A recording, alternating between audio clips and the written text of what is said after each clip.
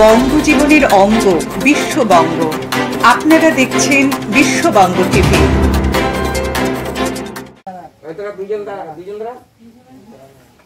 তুমি অন্যদিকে যাও তুমি যাও।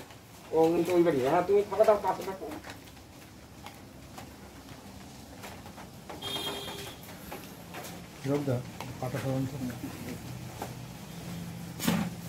এই করি একদম মানে উঠতে পারি না বিছানার থেকে আর বসবি। আরেকটু পারলে উঠে তো আরেকটু দেখা পাবে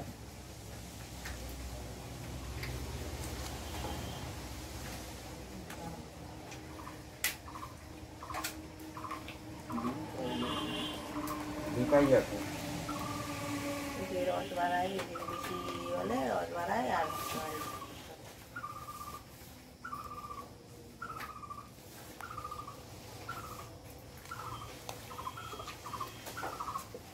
বাড়াই।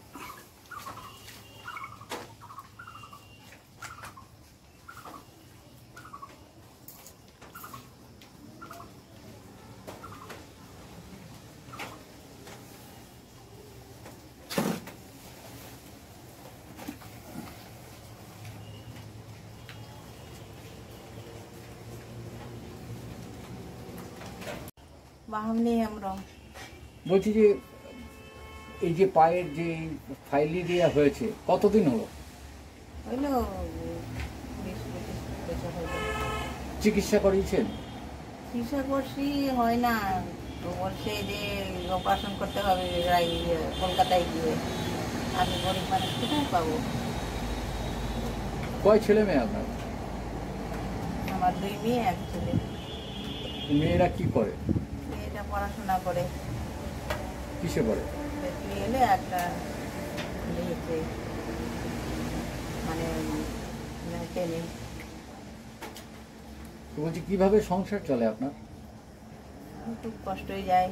এখন এখন যাইতেছিল একসাথে ছেলের সাথে ওর ছেলে তো আলাদা হয়ে গেছে এখন এক সপ্তাহ ধরে খুব কষ্টই আছে। কি চাইছেন এখন? এখন চাচ্ছি যেটা ভালো হয় আপনারা যেন আমাকে কিছু ব্যবস্থা করে দেন। তা আপনাদের সমাজের ভিতরে যারা আছেন যে জ্যাঠা মুর্মু থেকে আরম্ভ করে যারা বড় বড় লিডাররা আছেন তাদেরকে বলেছেন আপনারা জানেন আপনার ব্যাপার? বলছি এই যে এর আগে জমা করলাম জমা দিয়ে মানে আর খালি জমা দিচ্ছি আর আসতেছে এই যে কোনো সহযোগিতা পাচ্ছেন না? কিসে পড়ো? নাইনে কোন school Subhashchandra girls high school. যিনি বসে আছেন তিনি কে হন তোমার? আমার মা। কতদিন ধরে এরকম অসুখ?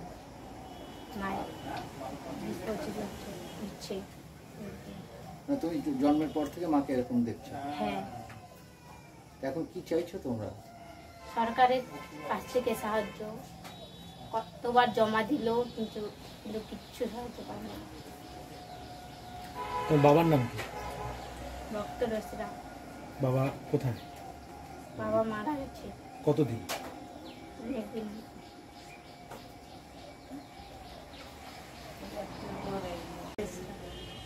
কিসে পড়ো?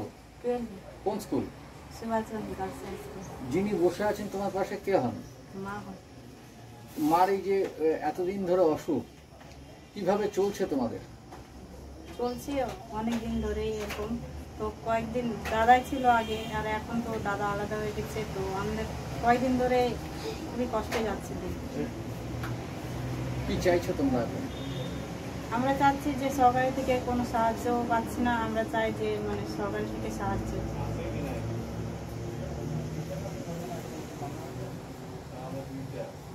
মাধ্যমিকে কি রেজাল্ট করেছ? মাধ্যমিকে কোন ডিভিশন গেছো? মাধ্যমিকে সেকেন্ড ডিভিশন হেমরামের মায়ের সুশীলবাবু বলছি যে এই যে পাশে যে দুটো মেয়ে থাকে বাসন্তী হেমব্রম এবং তার বোন কীভাবে চলে? আপনারা জানেন এই এদের- পরিস্থিতি কেমন? পরিস্থিতি তো খুবই খারাপ।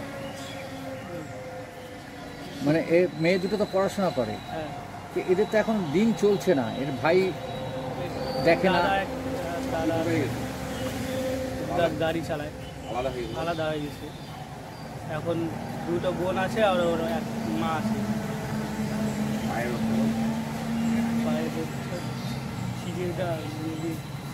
একটা পায়ের রোগ আছে। হ্যাঁ পা পা ফুলে গেছে। আমার নাম শঙ্কর সরকার। শঙ্করবাবু আজকে যেখানে এসছি এই যে আহ, আদিবাসী পরিবার এই ব্যাপারে আপনি কি জানেন? এই ব্যাপারে জানি বলতে যে আমরা এখানে সার্ভে করতে আসছিলাম একটা। তো সার্ভে করতে আসার পরে এই বাড়িতে যখন ঢুকি, ঢোকার পরে এই মেয়ে দুটো ক্লাস টুয়েলভ আর একটা একটা ক্লাস মানে নাইন দুজন পরে পড়াশোনার পরে ওনার, ওর মা যখন আসলো, মা আসার পরে মানে আমার কাছে প্রায় কেঁদে ফেলছে। যে আপনার কী করেন? হুম, বা, ওর বাবা কী করে বা আপনার কী করেন? প্রায় কেঁদে ফেলার অবস্থা। তবে আমরা তো জানতাম না। তখন উনি বলছে, আমরা কিছুই করি না। আমাদের মানে দশ পনেরো দিন থেকে একদম চলছে না না খেয়ে থাকার মতো অবস্থা। আমি বললাম, "কি- হয়েছে?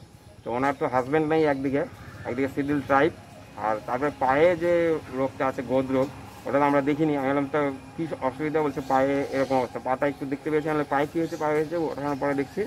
পায়ে হচ্ছে গোদ টাইপের একটা রোগ হয়েছে। হুম, তো সেই রোগটা দেখানোর পরে উনি দেখছি চলতে পারছে না মানে কোনো রকম ভাবেই গেছে। আমি বললাম, আপনি কাজ টাজ করেন না কোনো? বলছে, না, আমি কোনো কাজ করি না। আমি নিজেই চলতে পারছি না। আমি বলছি, আপনাদের এবার তাহলে কেমনভাবে চলছে? বলছে, আগে তো ছেলে দেখতো, কিছু, কিছুদিন হলো ছেলে পৃথক, আলাদা হয়ে গেছে ছেলে। আর এখন দুটো মেয়ে নিয়ে, আর উনি হচ্ছে একদম অসহায় অবস্থায়। মানে কোন একবেলা খায় তো আরেকবেলা খায় না, এরকমভাবে কেঁদে ফেলছে। ছেলে, মেয়ে দুটো কেঁদে ফেলছে। বলছে, আমরা, আমাদের আর পড়াশোনা হবে না আর কি। তখন আমি বললাম যে, কোনো সরকারি সুযোগ সুবিধা পেয়েছেন? বলছে, না, আমরা অ্যাপ্লাই করেছিলাম মানে অফিসে গিয়েছিলাম, কিন্তু কোনো কিছু হয় নাই। তখন বাধ্য হয়ে তখন আমি ভাবলাম যে আপনাদেরকে যদি মানে আপনাদের মাধ্যমে যদি কিছু করানো যায়, সেই জন্য আর কি নলেজে আনা। তো এই পরিবারটা যদি মানে কোনো সাহায্য পায় ভবিষ্যতে, এই মেয়ে দুটো, আদিবাসী মেয়ে দুটো, যেহেতু আমাদের মাননীয় মুখ্যমন্ত্রী মমতা বন্দ্যোপাধ্যায় মেয়েদের শিক্ষার জন্য মানে যথেষ্ট করেছেন, কন্যাশ্রী থেকে বিভিন্ন প্রকল্প মানে মেয়েদের শিক্ষার অগ্রগতিতে উনি মানে অগ্রসর হয়েছেন। তো মেয়ে দুটো পড়াশোনায়, আমার উদ্দেশ্য হচ্ছে মেয়ে দুটো পড়াশোনা যাতে বন্ধ না হয় ভবিষ্যতে ওরা যেন আদিবাসী মহিলা ভবিষ্যতে ওরা যেন উচ্চশিক্ষার পথে এগোতে পারে এবং কোনো বাধা না হয়ে দাঁড়ায় সেই জন্য আপনাদের মাধ্যমে যদি কোনো সহযোগিতা পাওয়া যায় তাহলে খুব আমি প্রধান মুর্মু। কোন পঞ্চায়েতের মেম্বার আপনি? আট নম্বর বাহিনী।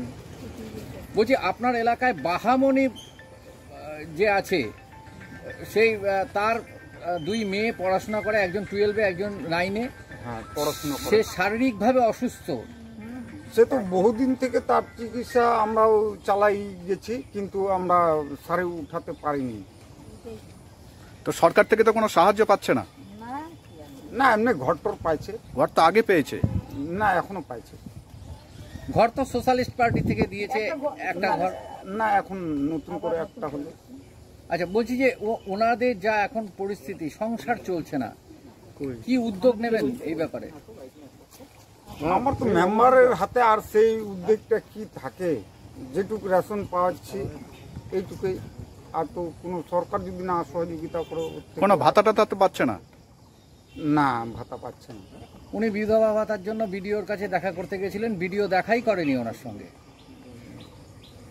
তো আমাকেও যাইতে হবে ওকে নিয়ে যাইতে হবে আমাকে বিডিওর কাছে। এটা আমারও ইচ্ছে আছে। তবে ওর চিকিৎসার ব্যাপারে অনেক কিছু করেছি, কিন্তু ও আর সারে উঠল না।